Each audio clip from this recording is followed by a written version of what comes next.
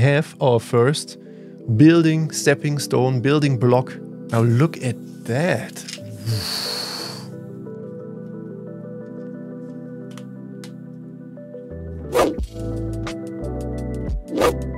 couple of months ago, I got this big softbox over there and I wanted to 3D print a grid for it to light form, beam form the light into my face and not spill it over the entire room. I was searching YouTube for good techniques to do this in Fusion 360, but all I found was really cumbersome and awkward to use and not really working for me and frustrated me until I found a really nice approach and made a video on it. Um, now recently this video got a lot of valuable and meaningful and cool comments pointing me to subtle differences in the approach. And I liked them so much that I decided to make an updated version of the video, which I did a couple of weeks ago. And then on this video, on the updated video, there were again a lot of valuable comments pointing me to features of Fusion 360 that I was completely unaware of until then. And now taking this I decided to make again, yet again, an updated version of the updated version. And as this big softbox over there, or rather the, the grid, is slowly coming apart after months and months of usage, uh, and also it was the first attempt uh, and was actually working great, but now, you know, some deficiencies are actually showing. I have some tape here because some of the pieces are not really uh, clamped together. There are here are um, spaces where the grid actually didn't print properly. So in short, I want to have a new one. And this comes together as the perfect opportunity to make a full tutorial on how to do hexagon grids in Fusion 360 and combine them to form such a big grid for, for example, a softbox like this. Shall we go over to Fusion? Let's, let's start.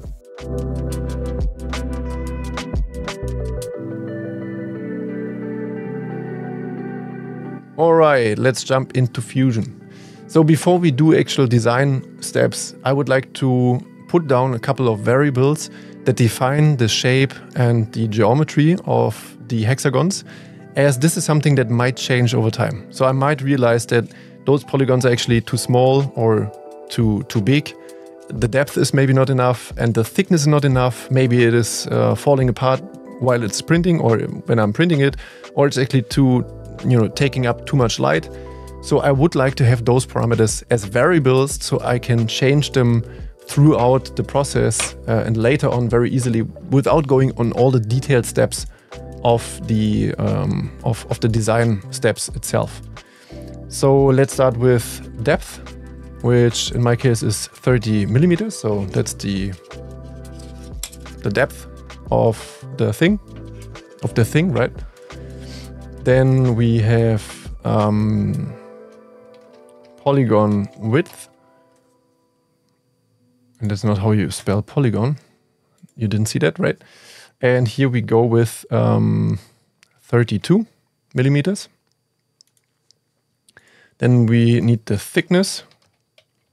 That's kind of clear, so I will go with um, 0.6 millimeters because I have a 0.6 uh, nozzle. Uh, let's see how that works out. And what else? As we have already the thickness, uh, I want to have for the outer perimeter, I want to have a, a bigger thickness, which in this case uh, might be something like 1.5, sorry. outer uh, thickness. And for this, I want something like 1.5 millimeters. All right. Now, I would like to start with the, the overall geometry of the softbox. So I have a reference um, to, to reference it. Also, this will help me in the end to uh, do some Boolean operations on this. And what I always try to remember myself, and I forgot oftentimes, is to put everything in own components. That makes it so much more organized and um, soft. Right, I shouldn't talk and, and write at the same time. Softbox uh, that makes it so much easier also to reference it later and, and get a general idea what, what is going on and what is where. So softbox. Let's start with this. We create a sketch and uh, I will put the basic uh, diameter here, which is, I think, let me double check.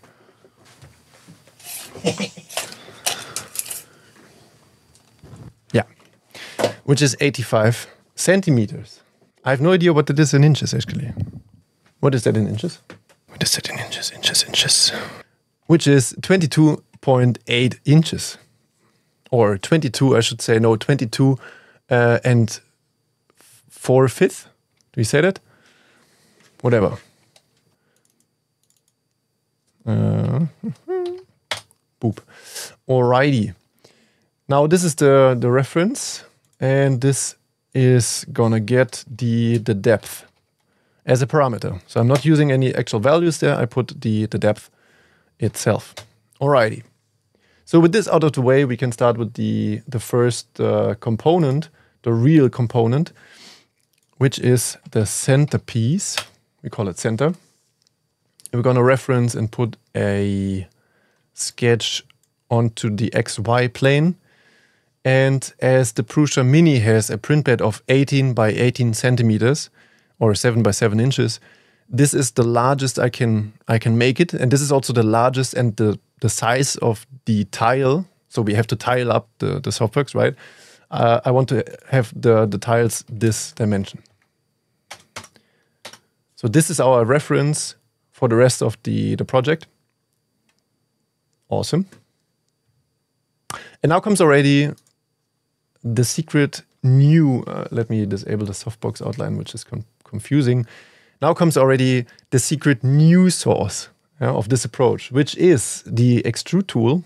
So we click on extrude, and instead of ignoring like I did for the entire uh, earlier time of my of my life, there's extrude here, but there's also thin extrude, which is extruding the outline of a shape and giving it a defined thickness, which is exactly what we want. So we select the outline. Or actually, I can, yeah, like this. Uh, and then we give it a distance of the depth parameter. And you can already see what it does. Uh, it comes up with just extruding the outside, the shape of the sketch itself. Something that is important to note is the direction it is extruding to. It is currently it's extruding inwards, which is exactly what we want, because this is the the biggest and the largest I can print. Something else you can also select going the other way or being in the center. We will use this for the actual polygons because there's it's it's important to to get the the shape and the dimensions correct. But now we go with uh, inwards and the thickness we have also as parameter, which is thickness. So no, sorry, yeah, no, Huh. Now I will actually go with outer here because that's the outer um, outer side, outer edge of the the shape. That is actually exactly what we are doing here. Maybe the future Buschi actually made one just to test it out, of course. Um, so this wall needs to be a bit thicker to give it more, you know, sturdiness, a bit more toughness, tough, rough. it's a meme by now. Um, we will create this uh, as a new body. We go one direction, that is fine. Extend direction depth, fine. And we're good. Now we have the basic, basic, basic outline of what we are doing here. Now we can add a new sketch and create the actual polygon, which is here. And then this time we go with um, inscribed polygon and we give it a di diameter here which is actually more radius than diameter. I'm not actually sure this is the right diameter I should use. Let me see. No, it's actually wrong. So I will not give it something. Let me set it up this way and then I will give it here. This dimension should be um, diameter. Uh, polygon. Yeah, polygon width, I, I called it. And this needs to be divided by 2. Because it's only going from here to here, and that's not the entire width, right? And something that's now really important are the two directional lines. We can um, hit X or click this button to make them construction lines and connect them to two sides perpendicular of the polygon. Um, for this one, it's kind of obvious that is just uh, following the, the y axis, but this one is actually the secret sauce, I would say, of this approach because it's going perpendicular to the next edge of um, of this polygon. All right, and now we are doing exactly the same as before. We go extrude, and now we select thin extrude, and select, or actually it's already selected, and give it a distance of depth.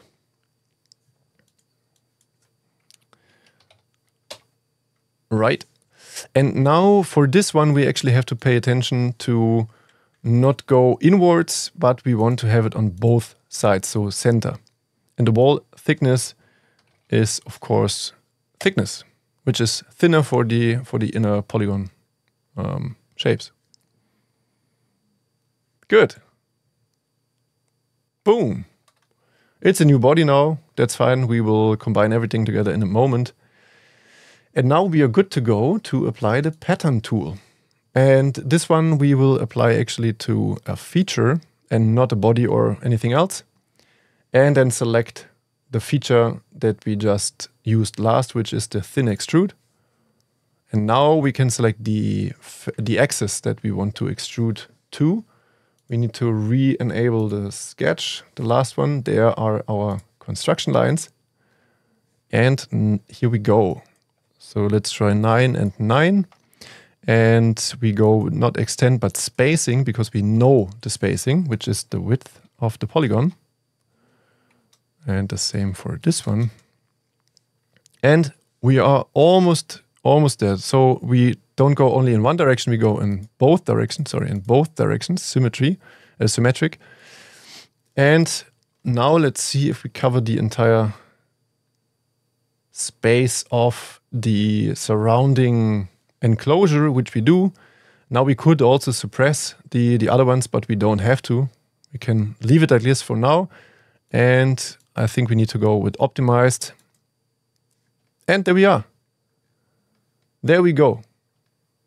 So we have to make sure actually for this one that um, those compartments here are not going too small or getting too small. So if your dimensions or your orientation or your geometry is different, you maybe need to play with the diameter of the polygons. This is just what I found works for my case best. Now we need to get rid of everything else. And for this, we create ourselves a kind of helper um, body. We go back to the original sketch and I'm actually not sure if can we do this already here? Intersect. I I actually haven't I have never tried that. Does that work? What does it do? Oh. I think it worked. Nice. Is that now a new body or not?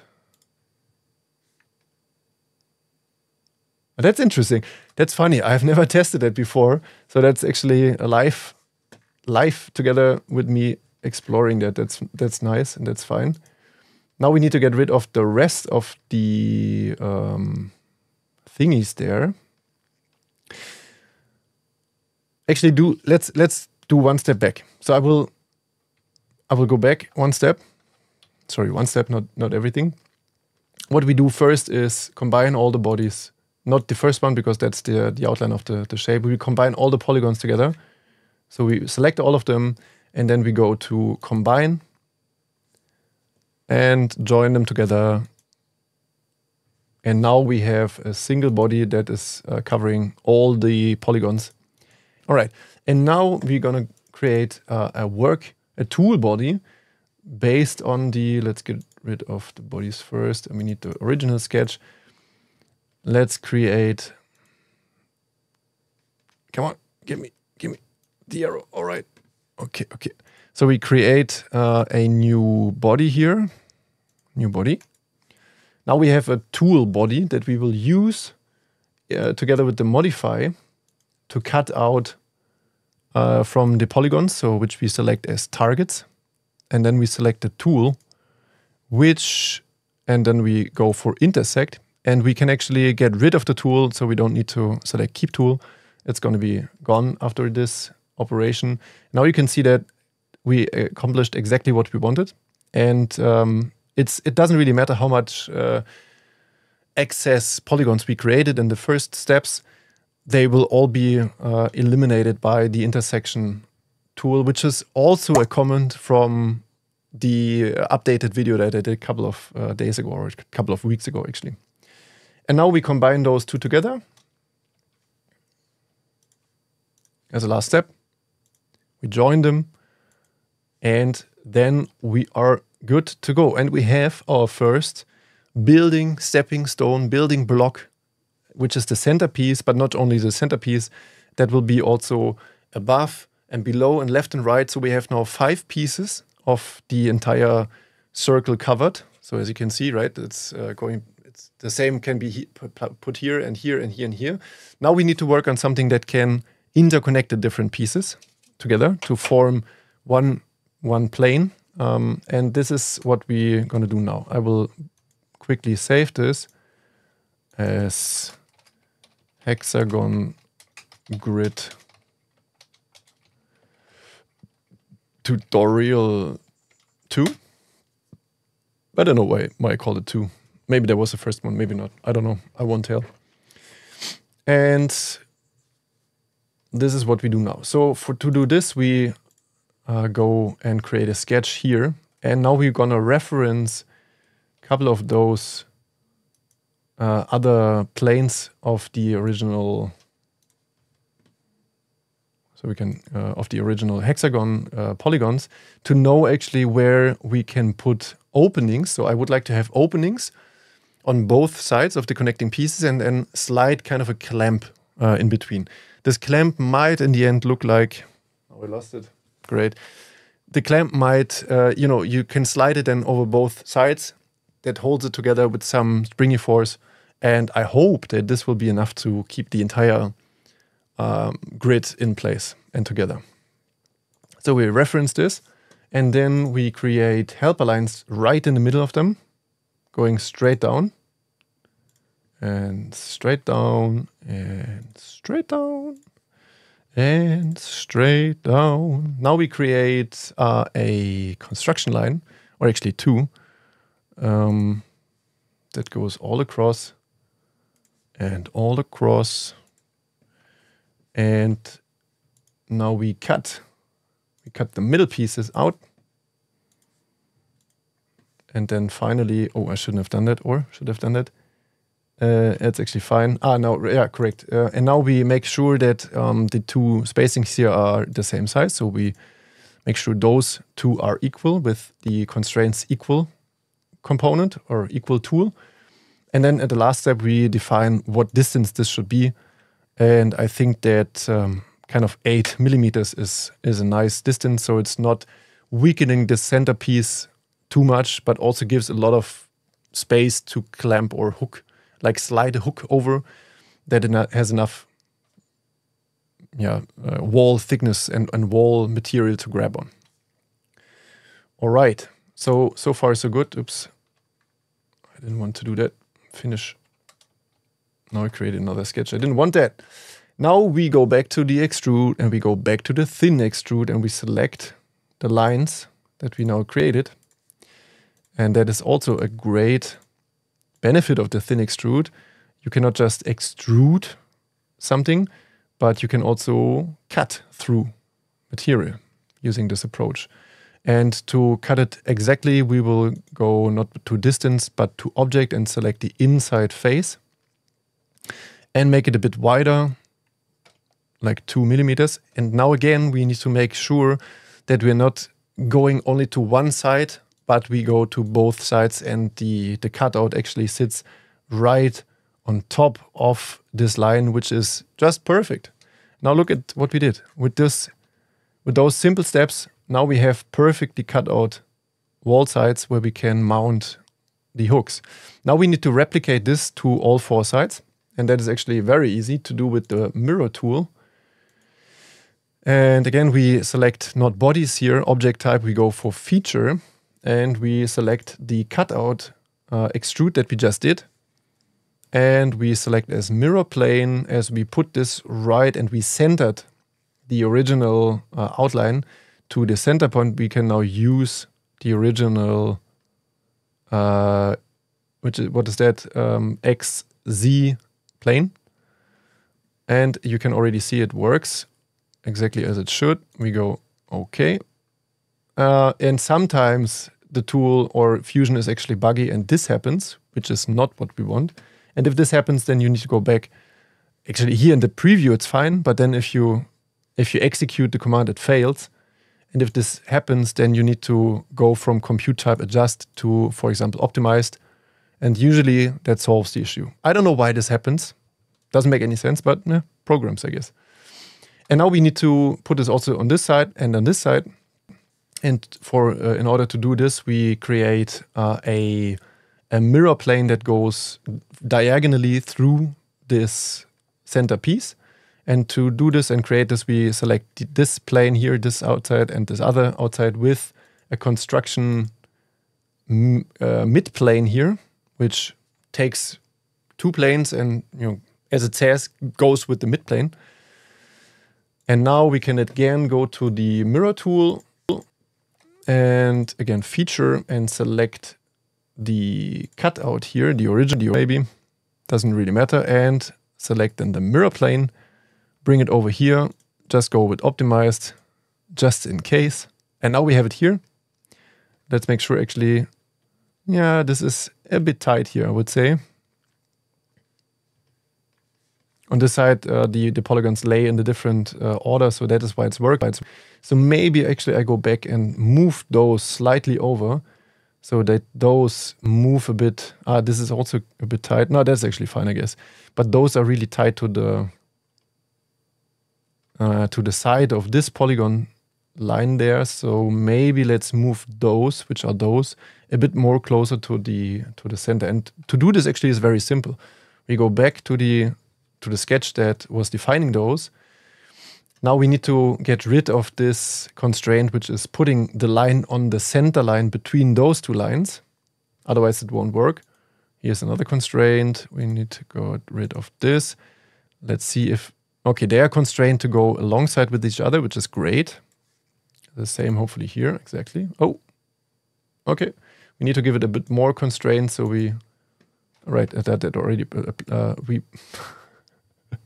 that already, already applied it. Holy Stokes. We will just pretend it never happened. Um, and now they go exactly as we want. And for this, uh, let's also do that because good measure, right? It is already constrained. Why? Ah, it is already there. Cool. now we only need to. Can we reference something here? No, we need to come up with a new helper line, which in this case, let's do it really crazy. Uh, let's say that those two lines should be always the same. Okay, that's funny. We need to add more constraints here. So it needs also to touch this as well as here. And now we give it a space from here to here, for example, which is, um, let's try six. Uh, let's try it out. By the way, the lines went from blue to uh, white, which is exactly what we want. It means that the, the geometry is now set and actually um, not having any free constraints. Now let's see. Okay, we have enough space here. And here, is that actually what I wanted? I wanted to move it more to the center. Did I do that? yes, I did. Okay, six. Let's actually go with four. Move it a bit closer. And now, obviously, as I'm changing this here, as they are linked together by all the steps we did in before, the um, as I'm changing the sketch here, it's also affecting and it ripples through all the changes that are building on top of this after that uh, and later. So now I think it's fine and there's enough space here to clamp it down. So I'm fine and it can be, yeah, we can leave it like this. That's actually good. All right. I think that concludes now. Let's get rid of this construction. That concludes the first basic shape that defines the new hexagon grid for the softbox. All right, something that I actually forgot is as the, the different segments will be, you know, sitting next to each other, uh, one after the other, And the, the printing, the 3D printing is usually squashing and squishing out material, especially on sharp bends like this one. What I want to add as a final step to the uh, uh center segment to add a chamfer on the sides. And actually, we can go inside, outside. I could have also done this to the original uh, outline of the shape, but uh, I forgot. But it's very easy to add it here. And we will go with something like this so that the corners are not going all the way to the, the corner and the edge, but be a bit ribboned so that any squished out material during the print process has some space not to widen the edge further um, and pushing it outside so that actually all the pieces can be sit butt to butt um, and be actually fine. Fine. All right. Now, but this now honestly concludes and uh, really concludes the center piece. And now it's time to go to replicate this shape. All right, a little intervention there. So the video was getting quite long at this point. So uh, we are already 50 minutes into the video and we have just designed, you know, the basic shape of the, the hexagon. The entire design process took me over an hour and that's why I decided to cut it here and move it out of the way into a second video that I link you here. So if you're here for a Fusion 360 tutorial, by all means check it out. The entire uh, build process is in there. But for now, I would like to focus on building so first of all, showing you all the different pieces that I've been printing over the last couple of days, uh, and then put them together, and finally mount them to the softbox and see if the design ideas and the design design decisions work out and work in the end. Maybe I show you all everything that I printed, which is this pile of mess that is currently, you know, occupying my desk, and my desk is too small for it. So this one you have seen already in the uh, original uh, before, actually in the intro, because I printed it before um, doing the, the tutorial now, testing it out. That is also why you can only see two pairs of slits and not four as the final one that uh, I designed for better strength and uh, adhesion between the layers. But you will also realize that actually here are more centerpieces that uh, there should be necessary. So there should be one in the middle then then two to the sides and above and below, which makes a total of of five, right? But the thing is, I printed actually way more, and the problem was, and I discovered it quite late in the process. You can see here there are no slits on this side here. You know, my hand, my nose is actually a nice pointer. And why is this? Because I messed up and I forgot one step during the design process for getting one of the mirror planes to copy over the features. Long story short, I had to reprint basically more or less all centerpieces, or I would have done that if I had enough filament, which I didn't. So I ran out of it. And that is why, in the end, you can see now I split it up and have different colors here, which I think will be okay for the softbox. So this is going to be my magic centerpiece, uh, a little bit of a you know cool color in the middle, and then those will go into the mix maybe on the sides, and then I have two more up and down here for the basic center shapes, and then come and then come the corners. That actually went it also pretty nicely. That is Prusament Galaxy Black. I love it. Comes out really clean on the Prusa Mini. And then finally, the corner pieces that will go like this to the centerpieces. And no, the corners yeah, have their own uh, attachments. And then those clamps, and I printed now, I think, four of them for now with the little hooks that uh, you will see in the other video. And yeah, with organic support, support, it came out great actually. Now, should we put it together? I can't wait to see the final end result. No, wait, we need a hammer. When you have a hammer, every 3D print looks like a nail. Old saying. The Greeks said that, I think. Ah, I forgot something. The most important thing, I think, are the attachment clamps.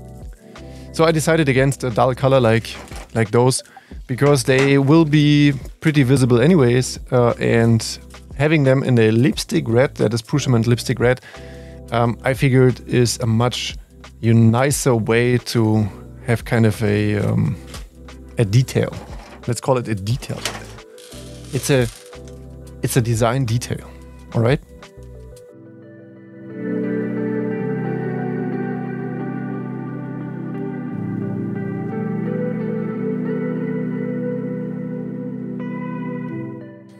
By the way, if you're asking, I printed 128 of those. Mm, and I decided to make them smaller in the end because I figured that they don't need those big flaps because this is PLA, it will give into the force at, after some time. And if it's smaller, then there's less to give into, right? So that is why I made them smaller in the end. Um, as opposed to what I came up with for those those clamps. You can see they're much much smaller in in the uh, like the wingspan is smaller.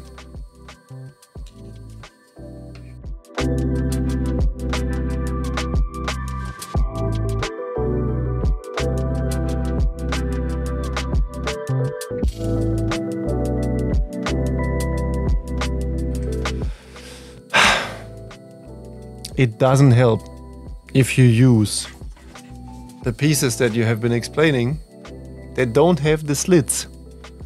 And if you already press fit them in, now I have to press fit them out again. I hate it.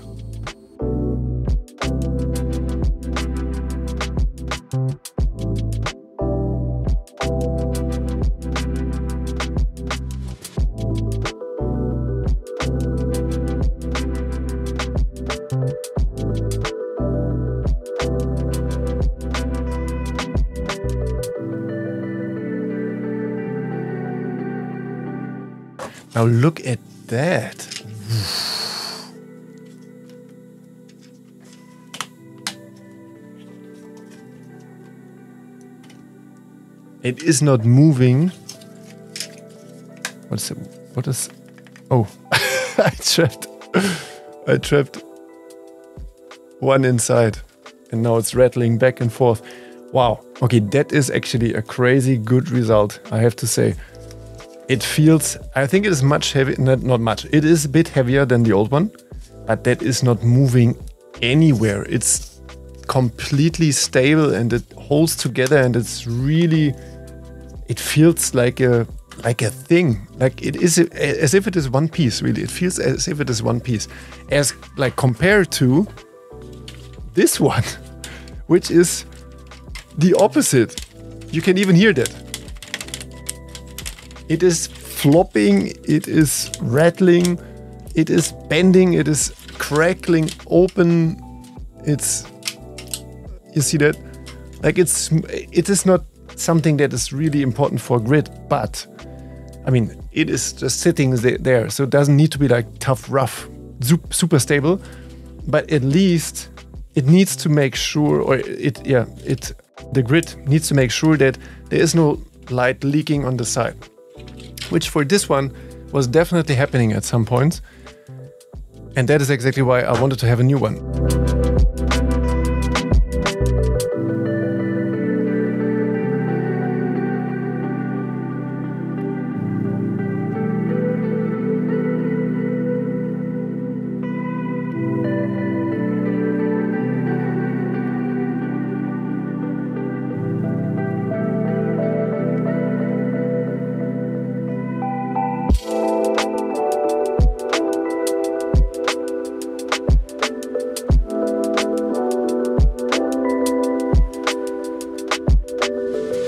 That concludes the build. I'm actually really, really happy how this turned out to be in the end. Now I have a flat surface of the softbox. It's following the curvature gently. There's no light leaking out the sides. It's just perfect. Except maybe for the color in the middle, the blue one, which I... I'm not sure if I like it. I have to figure that out. Maybe, maybe, you know, I don't know. Maybe I leave it, maybe I change it, I don't know. Let's see. The benefit of this approach with the tiles is that, and the clamps that hold each client individually together, you can actually exchange them. Either if one breaks or if a color, in this case, like in this case, uh, you don't like it anymore, you can exchange it, no problem.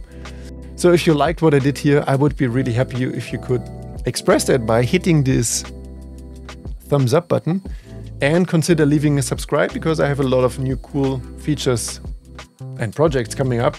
And part of that now finally arrived, but I will not show you now what's in this uh, nice brown brown box, but uh, that will be part of a new video that is coming out soonish. So if you're interested, stay tuned. Until then, I'm Buschi. It was my pleasure. See you next time. Over and out. Bye.